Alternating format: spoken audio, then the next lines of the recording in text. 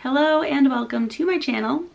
Now, you may have noticed that we're in a different place than we normally are. The lighting's not the best, but this is the best I can do. And this is the reason that I have not done videos over the summer. I am just never alone and it's never quiet in my house.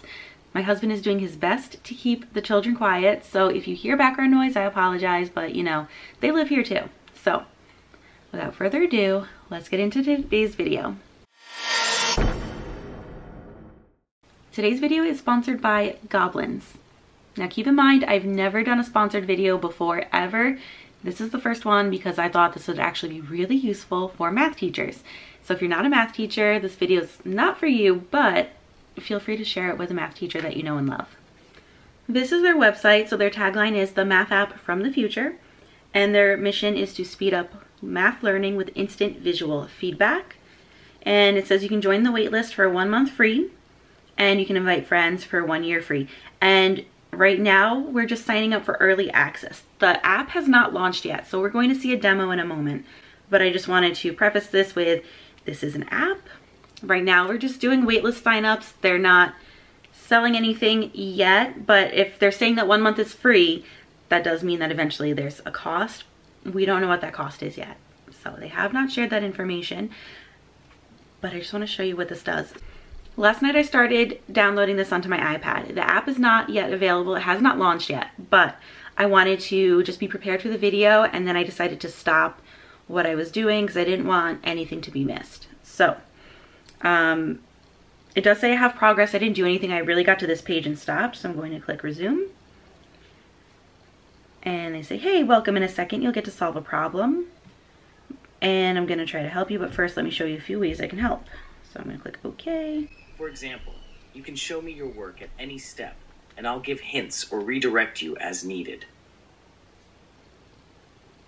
And once you get the final answer, I'll mark it right and we'll move on to the next problem. Okay, your turn. Try drawing the answer and then hit OK. So this is available for iPad or Android phones or iPhones. So you can write with your finger and that's what I'll use for the video rather than a stylus. Nice. Let me just erase that for you. You can also speak your answer. Or ask things like, I'm stuck. What should I do next?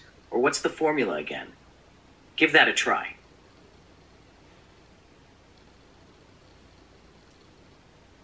I'm stuck. What should I do next? Coming in loud and clear. Okay, here's the first problem. Go on ahead. I'll be here. Okay, so I'm going to get this wrong on purpose just to see what happens.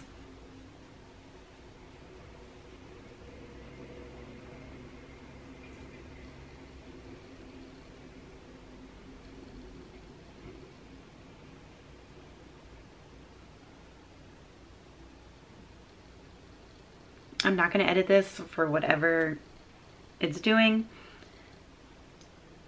I wonder if it really needs me to turn this around. Oops. Adding the sides gives the perimeter of one face, not the volume of the whole cube. True. What does volume mean? How would you calculate it? Give it another try. Okay, so let's erase what we have here. Um, all right, let's make another mistake. Let's do 2 times 2 and see what it says. Took a guess at what this part says.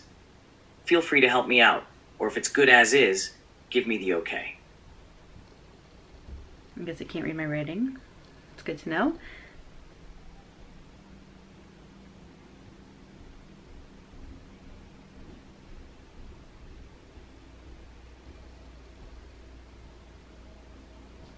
Close, but you squared 2 instead of cubing it. Think about what volume means in three dimensional. Okay, so I like that because it did give a How different many hint this twos time. should you multiply? Try again. And it was a good hint that it's guiding, so I like that. That's what we try to do as teachers. Um, it does take a minute though.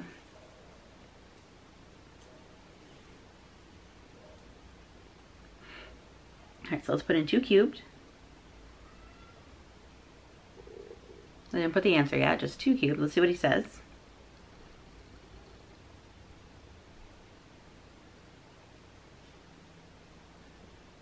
You got it. 2 to the power of 3 is the right expression.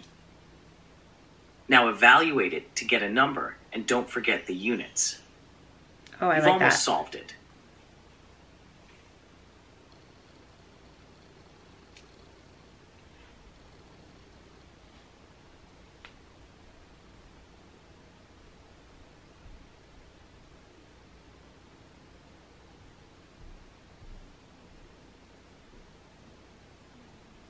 That was sweet. Let's see the next problem.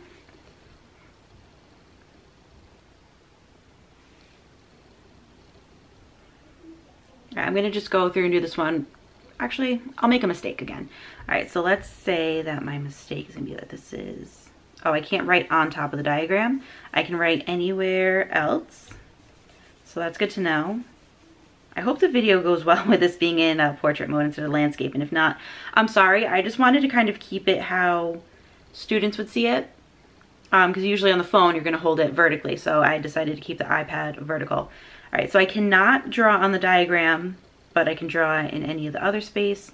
So I will note where we have the opposite, adjacent, and hypotenuse. And let's say I'm going to set it up as cosine of b or they put beta here, but I'm gonna go with B equals, and let's say I do opposite over hypotenuse, and I put 12 over 13. Let's see what it says. Just want to double check that I read this area right. Hit OK if it looks right, or give it a little tweak if not.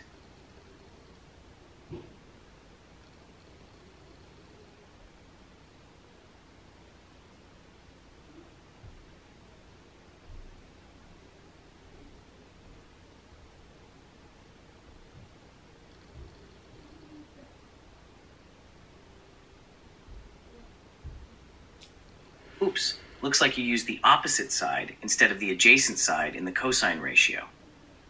Remember SOHCAHTOA? Give it another shot. All right, I'm trying to scroll so I can put this back to where it is. Okay, uh, so it's two fingers and I can scroll it up and down. Um, okay, so let's try putting the adjacent. And click OK. So it seems that it was Hey, just want to make sure I read this section right. Yes, you do. Um, it seems like it was confused by me putting the labels for O, A, and H around the side. So that's something to keep in Killing. mind. Okay. Um, so I guess we're good there. Um, they're giving me another cosine question. So for this one, um, 17 is the missing hypotenuse. And cosine, this is the opposite. Adjacent hypotenuse is 17. So cosine of b or beta is going to be 8 over 17. Just want to double check that I read And it this still doesn't, like- right. Hit OK. Oh, okay. I guess it doesn't really look like an H the way I, I did it with my finger. Um, so that's just something to keep in mind. It might have a hard time reading like you're you're writing with your finger. So maybe I'll try the stylus next just to Killing see how it reacts.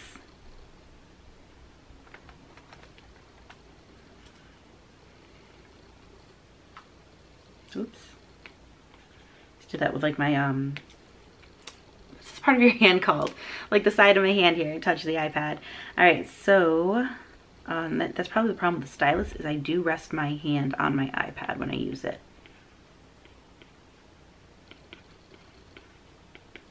All right, let's hit okay and see what it says about that step so far.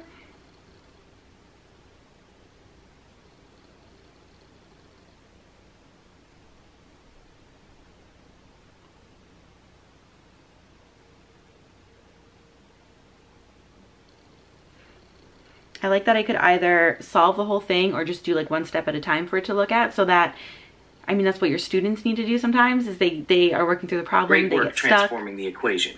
What methods could you use next to solve for x? they get stuck on a step and then Keep they need exploring. You've got this.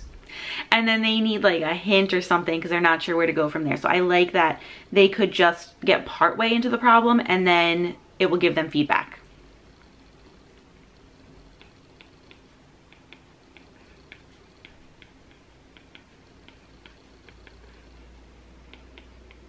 I'm just gonna go ahead and finish solving it. I wonder if it's gonna be able to read the six.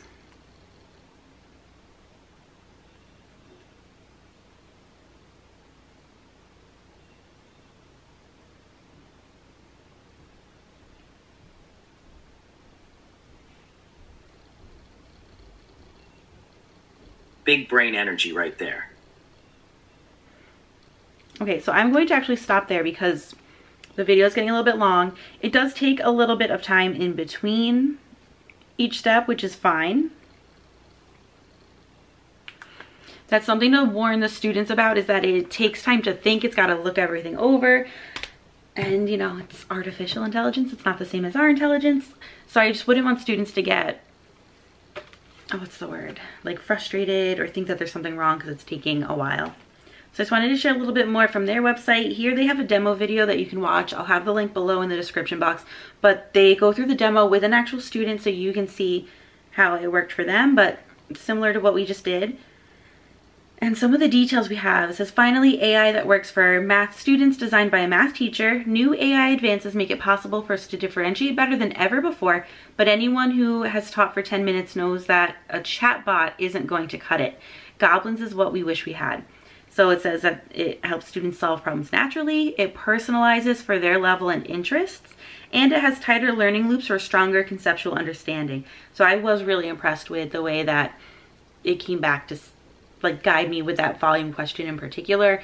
The just what it came up with to get me to the right answer, I thought was amazing. Now for teachers, we can actually assign to students some of this. So I'm going to share that, but essentially you're going to pick a topic, you're going to give students a code, and you're going to track the student progress. Here's a little bit more information. It's a has cross-platform support, FERPA, and state compliance. So in New York, this is a big thing. Um, I would, to use this in my school, which I haven't gone through the process yet of requesting such for this, but um, I'd have to send it to our tech person who has to actually draw up a contract specifically between our school and this app. But the fact that it's already telling us that it's FERPA and state compliant and I can show you where, but it says it's compliant with all 50 states in terms of protecting student identity and information. It says it is, so I'm gonna take their word for it, but it would still be up to our technology director to get this going at our school. So I wouldn't actually be able to use it with my students right now as is. Um, it fully supports 12 languages, has tons of LMS integrations. I would like to know specifically which ones, like hopefully Google Classroom. I feel like that's the main one. Um, and great for in-class work and homework. We have reviews from some teachers, which again, you can look at this on your own if you would like. You can schedule a demo if you want to have this available at your school with your admin or department head.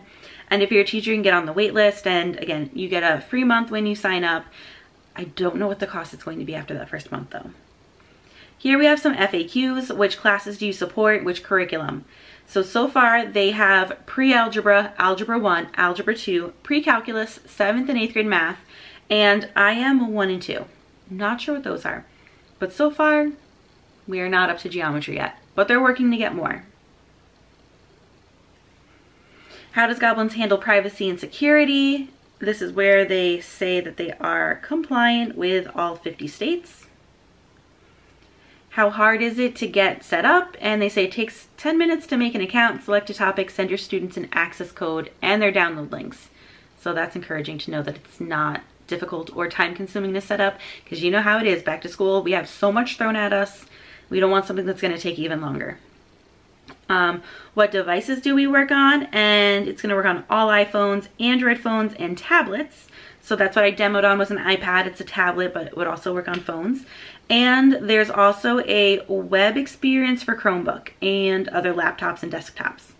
I don't have access to demo that um, at this time, but it's something that they have. And what if students get off track on their devices? This is cool. So we'll alert you in real time when students close the app so you can know when students get off track. Amazing. Um, can you see students' performance? And yes, you can watch them work live from the teacher view and they create a digest at the top to see who's struggling most and with which concepts. So you have everything you need. Now as a teacher, if you want to assign work using the Goblins app, you are brought to a form. They're going to ask for your name. I'm gonna put in just my first name. Um, an email address. And again, keep in mind this is in demo mode. So when I open these things up, they're going to be blank. So it asks for a unit and there's a button for me to add it. And these are all blank. So I'm assuming that when I have my account set up, I'm able to say what course it is um, or what unit we're in. That's what they're asking for, but I don't see unit here. But there's information here. So I'm just going to select the first one that's there. Um, topic title, it says we'll include four to 10 problems in this topic. Email us if you'd like more. So you go to add and these are all blank, but I'm assuming that if I were to do this once everything is live, that they would have different topics for me to choose from. So I'm just gonna click on the first one. Um, the start date. Now this is where it's interesting and I think it's important to know and maybe this will change, but let's say I wanted to start this today. I'm recording on 7-31-2024 and I put in a due date. Let's say it's due in a week. Okay, when I was doing this last night, it was telling me that they needed more time and that I couldn't just make up an assignment like the day of.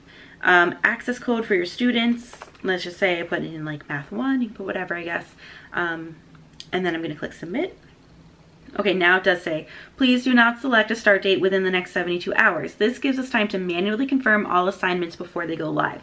So it's not just that they're generating the assignments automatically. It's actually going through people, which is interesting.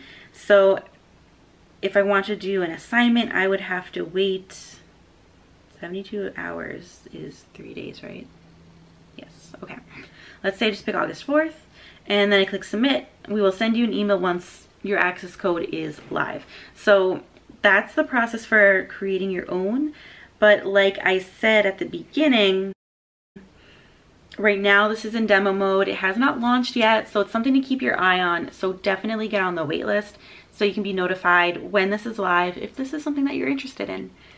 If you have questions, you can ask them below and I will do my best to get an answer for you. But that's it for now. I hope this was helpful or at least enjoyable. And uh, hopefully this becomes something that we can really use with our students and really get them the help. Because I feel like all students kind of want like a one-on-one -on -one tutor and just the way that schools are set up now, it's really hard for us to provide that for them. So this seems like a good solution to that. So that is everything. And as always, thanks for watching.